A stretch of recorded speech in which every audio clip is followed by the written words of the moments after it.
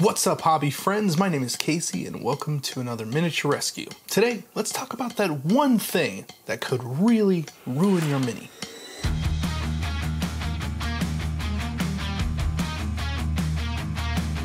This video is sponsored by Squarespace. Squarespace is the all-in-one platform to build a beautiful online presence and share what makes you unique in your hobby.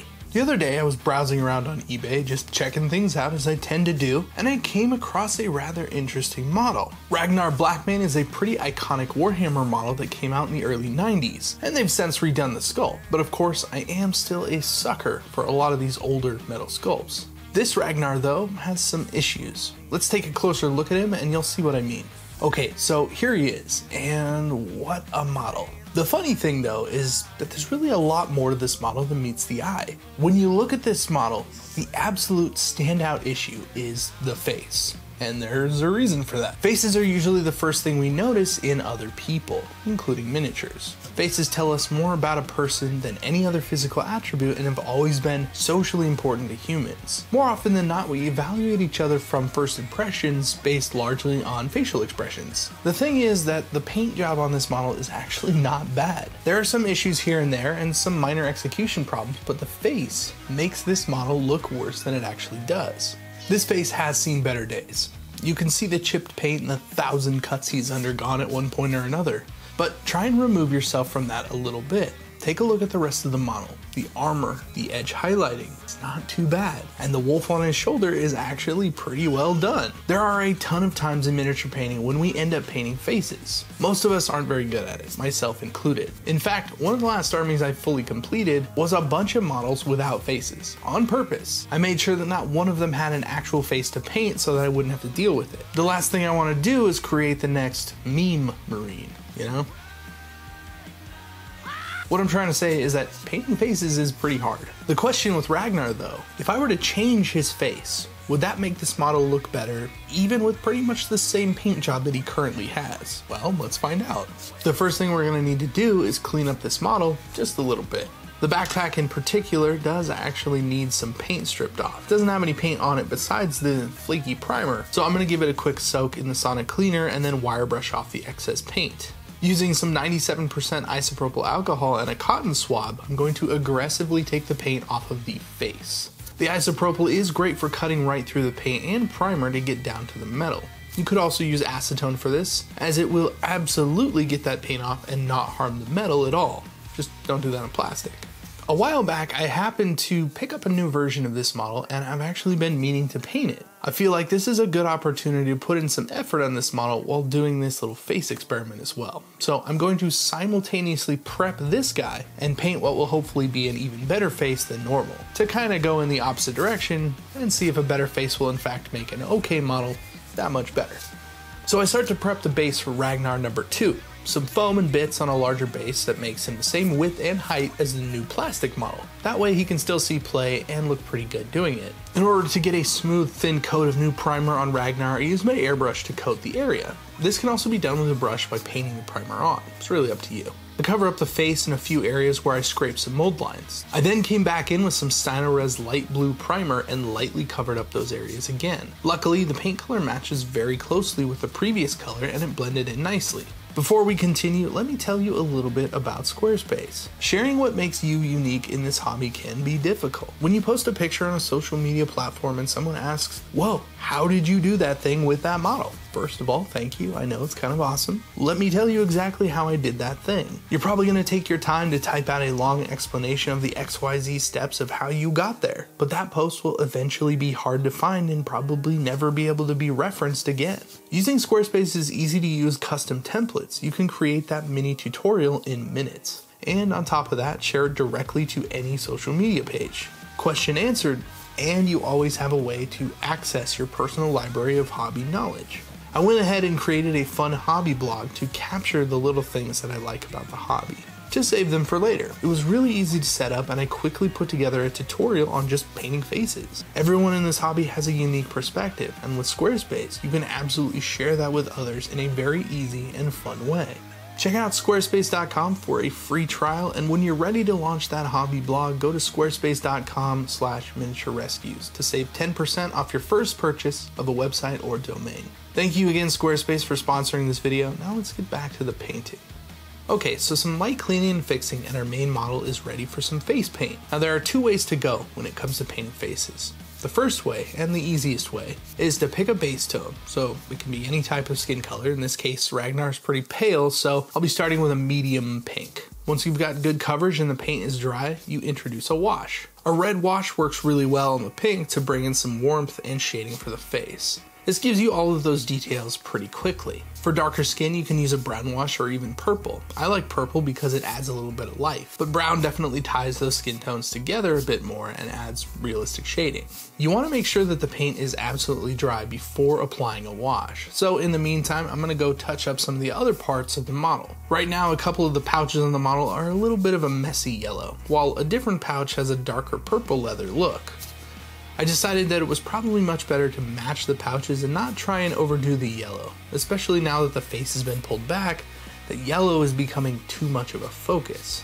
I'll follow that up with a reinforcement of the edge highlighting across the model. Just bring those lines into focus a bit more and complete the backpack that never got paint to begin with. The cloak got a coating of yellow to try and clean it up. Right now I'm liking that yellow, but it still may be too much by the end. We'll see how it goes. Once again, it's important to make sure that the paint is dry before applying more. So I'll take my time and paint in some other details. Of course, while doing this, I never realized that his hairline is a little bit more receded than I originally thought. So I had to go back in with some of that initial skin tone and fill in the little spots near the widow's peak. Luckily, the area was small, and I needed to cover the face with the base coat again anyways, so I layered the paint over the raised details and made sure that the wash was still showing in the recesses. After that, I added a little bit of a lighter pink and went over the top half of the face, tracing the brow, cheeks, and nose in particular. This brings our attention to the top portion of the face and gives a frame for the eyes. Next up, we have the worst part, hands down, the eyes.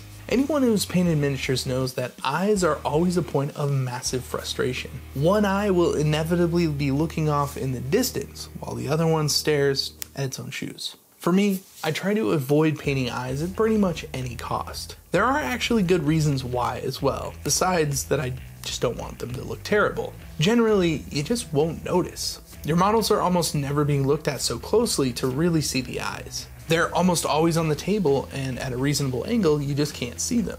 So I generally default to painting in a color or leaving them white. I really like that it gives a model an even more sci-fi or fantasy look and I don't have to deal with the meme marine issue that plagues so many pupilled marines. Let me show you what I mean. I grabbed a picture of a space marine head.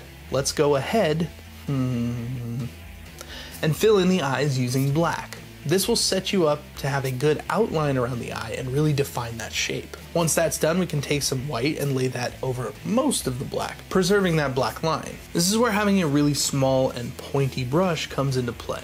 You want to dot that iris right in the middle of each eyeball. If it touches the top and bottom of the black, that's no big deal. To take a step further, try putting in a reflection. Just a little white dot in the same place on each eye and it really brings them to life. Or like I mentioned, just give the eyes a nice glow after you finish that first round of white. A little bit of thin down contrast around the edges, or better yet, good old fashioned Citadel glaze, if you can find some. Ink also works really well for this watered down.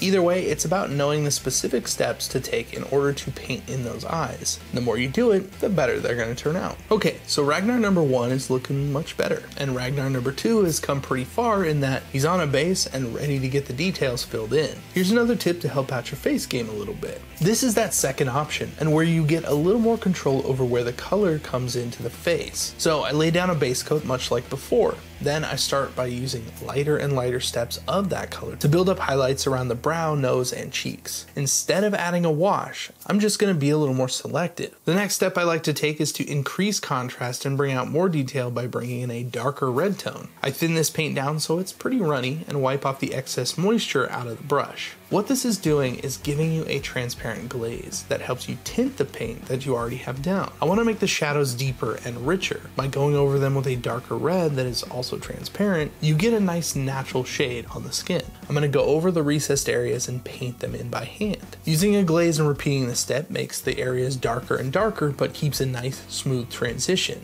Now it's a back and forth process where you want to continue to make the skin darker in shadowy areas and go a little brighter in the highlights toward the top and middle middle of the face. The result is often much nicer than using a wash because you really do have the ability to create sharper details where that wash might wash them out, make them a little soft. The basic concept is the same for both methods and rely on placing highlights and shadows in the same places. Using a wash just makes that process a little less accurate, but much faster so it makes more sense for painting a lot of models at once. Let me demonstrate this in a little bit of a different way that might make a little more sense. For the face, I'm going to start with that base tone. Then I'm going to pick out those highlight areas and just put paint on all of them, bringing it in a little closer with each highlight, just making smaller and smaller lines. We're going to highlight up those focal points.